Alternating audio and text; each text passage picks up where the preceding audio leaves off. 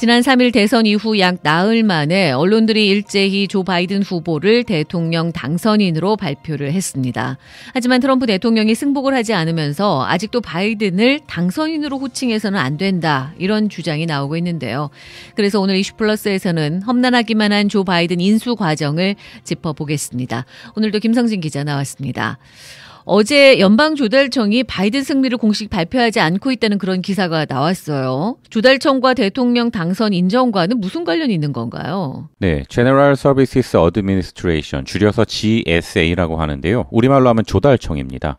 미국 대통령직 인수법에 따르면 1차적으로 대선 승자를 판단할 권한을 보유한 사람은 연방 조달청장입니다.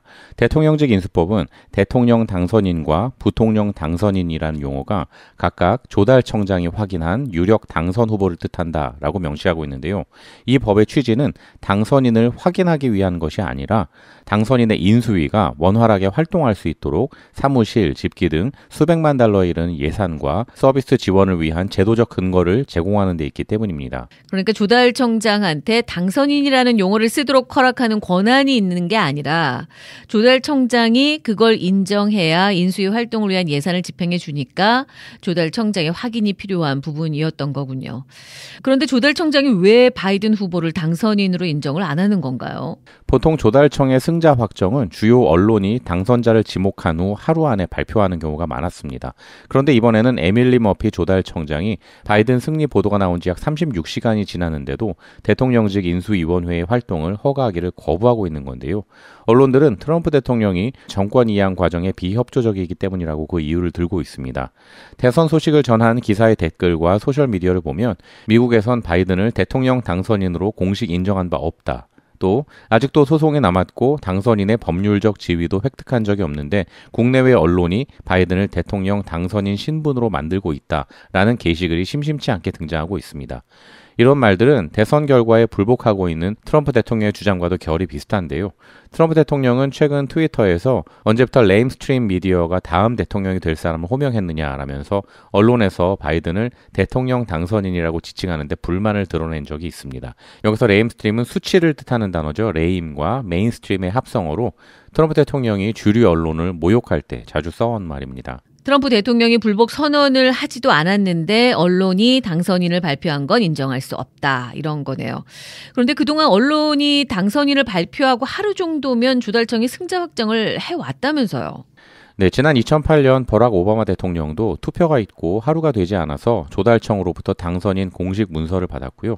2016년 대선 때도 오바마 행정부가 대선 직후 트럼프 당시 후보를 당선인으로 명명하면서 조달청 지원을 토대로 바로 정권 인수 작업을 진행했었습니다.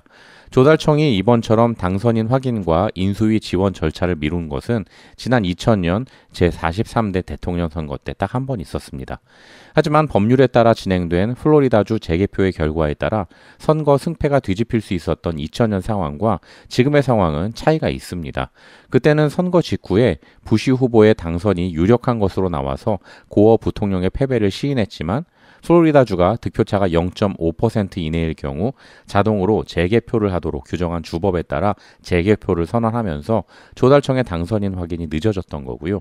지금은 전체 과반 이상 선거인단을 확보해 사실상 당선이 확정된 거기 때문에 바이든 인수위뿐만 아니라 각 언론들에서도 연방 조달청의 현재 처사에 대한 비판의 목소리가 나오고 있습니다. 아무리 트럼프 대통령이 불복을 한다 하더라도 실제 재판이 열리고 있는 것도 아니고 그 재판 결과에 따라 대선 결과가 뒤집힐 것도 아닌데 글쎄요 조달청이 무엇을 기다리느라 이리 시간을 끌고 있는지 모르겠습니다. 이렇게까지 트럼프 정부가 비협조적이라면 바이든이 공식 취임하기까지도 험난한 길이 예상되는데 어떤 절차들이 남아 있죠? 바이든 당선인은 백악관에 공식 입성하기까지 2개월여의 시간을 남겨두고 있는데요. 이 기간 바이든 당선인은 미국 헌법과 법률에 따른 대통령 선임 절차를 진행하게 됩니다.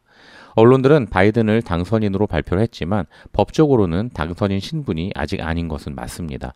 앞으로 대통령 선거인단 투표와 연방의회의 선거인단 투표 결과를 발표해야만 법적으로 공식 당선인 신분이 되는 것입니다. 대통령 선거인단 투표는 대선이 있는 해 12월에 두 번째 수요일이 지난 뒤 첫 월요일에 열리게끔 법에 규정돼 있습니다. 올해의 경우 선거인단 투표율은 12월 14일인데요.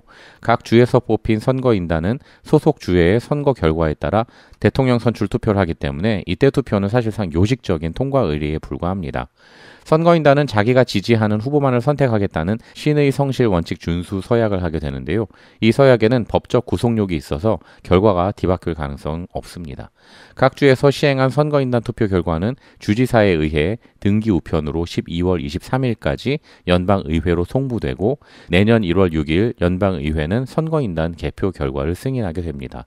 그러고 나면 상원의장을 겸하는 마이크 펜스 부통령이 이 자리에서 조 바이든 대통령 당선인과 카멀라 해리스 부통령 당선인 선출을 선언하게 되는 것입니다. 그리고 나서 대통령 취임식이 내년 1월 20일 워싱턴 DC 연방의회 의사당 앞에서 거행됩니다. 미국 대통령 선거가 간접 선거다 보니까 대통령 선임 절차라는 게 필요하고 이 절차를 다 거쳐야 마침내 대통령에 취임할 수 있다는 겁니다. 앞에서 조달청이 허락을 안 해줘서 인수위 활동을 못하고 있다고 했는데 이 취임하기 전에 이 인수위도 본격적인 활동에 들어가야 하는 거죠?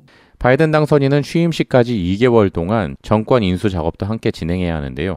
대통령직 인수법에 따르면 바이든 당선인은 연방 조달청으로부터 정권 인수 작업에 필요한 사무 공간이나 물자, 경비 등을 지원받을 수 있고 또한 법과 관리에 따라 바이든 당선인은 국가 안보 관련 브리핑을 받을 수도 있습니다.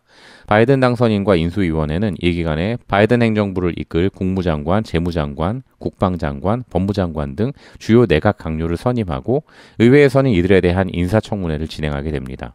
장관을 포함해서 약 50명의 주요 부처 핵심 직위 내정자가 통상 추수감사절 이전에 결정이 됩니다.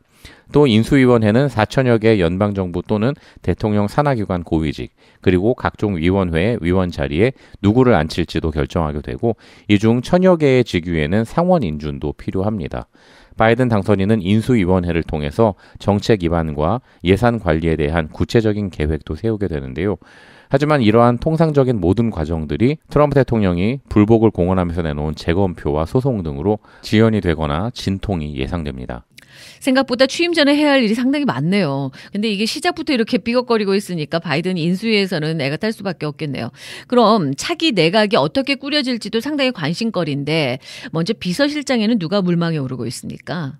바이든 캠프에 따르면 바이든 당선인의 정책 기조는 오바마 정부 때와 크게 다르지 않을 전망입니다. 이런 기조 아래서 바이든 대통령을 지근거리에서 보좌할 백악관 비서실장 후보로는 로널드 클레인 전 부통령 비서실장과 수전 라이스 전 백악관 국가안보보좌관이 우선 거론되고 있습니다. 두 사람 모두 오바마 정부 때 바이든 전 부통령과 함께 일했던 경험이 있는데요. 유엔 대사까지 지냈던 라이스 전 보좌관은 바이든 당선인의 부통령 러닝메이트 후보군에도 들었을 정도로 핵심 측근이라 할 수 있습니다. 한국 입장에서도 아주 중요한 인물이죠. 외교 정책을 총괄하는 국무장관 후보로는 또 누가 거론되고 있나요? 국무장관 후보에는 토니 블링컨 전 국무부 부장관이 1순위로 꼽히고 있습니다. 블링컨 전 부장관은 이번 대선 과정에서 바이든 캠프의 외교 안보 분야 좌장을 맡았었는데요. 바이든 당선인이 상원 외교위원장을 하던 2002년 보좌관으로 인연을 맺었었습니다.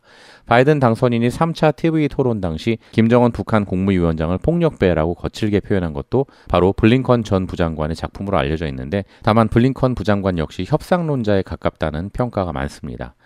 제이크 설리번 전 부통령 국가안보보좌관도 국무장관 후보군에 들어 있습니다. 라이스 전 안보보좌관은 여성 국무장관 1순위 후보고요. 설리번 전 보좌관은 국무장관을 맡지 않는다면 백악관 안보보좌관으로 갈 가능성도 점쳐집니다.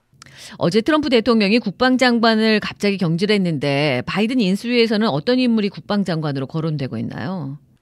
국방장관 후보에는 주로 여성들이 거론되고 있는데요. 오바마 전 대통령 때인 2009년에서 2012년 국방부에서 근무했던 미셸 플러노이 전 정책 담당 차관이 가장 유력한 후보인 것으로 알려지고 있습니다. 크리스틴 워머스 전 차관, 또 국방부 정책 담당 수석 부차관과 부통령 안보 보좌관을 거친 브라이언 맥컨의 이름도 오르내리고 있습니다. 경제와 사회 정책 핵심 보직인 재무장관과 노동장관에는 엘리자베스 워런, 버니 샌더스 상원의원이 각각 거론되고 있습니다.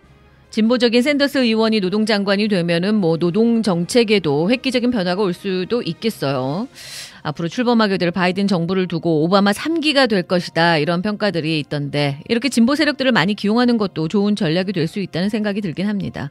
오늘 이슈 플러스에서는 아직도 활동에 들어가지 못한 바이든 당선인 인수위 그 이유와 취임 전 앞으로 2개월 동안 바이든 당선인이 거쳐야 할 일들에 대해서 짚어봤습니다. 지금까지 김성진 기자였습니다.